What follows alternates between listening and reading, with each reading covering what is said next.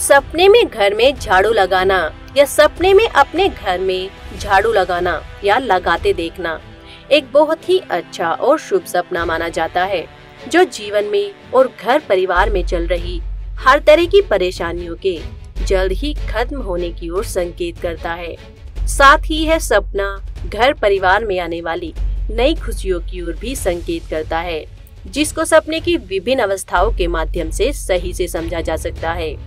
जैसे अगर कोई सपने में खुद को ही अपने घर में झाड़ू लगाते हुए देखता है तो यह सपना किसी काम या योजना में मिलने वाली सफलता की ओर तो संकेत करता ही है। साथ ही यह सपना घर परिवार में होने वाले किसी शुभ कार्य की ओर भी संकेत करता है।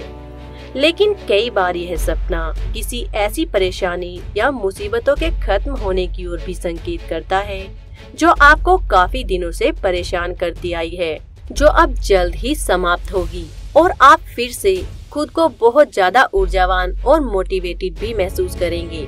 और अगर कोई सपने में किसी और को अपने घर में झाड़ू लगाते हुए देखता है तो यह सपना भी काफ़ी अच्छा माना जाता है।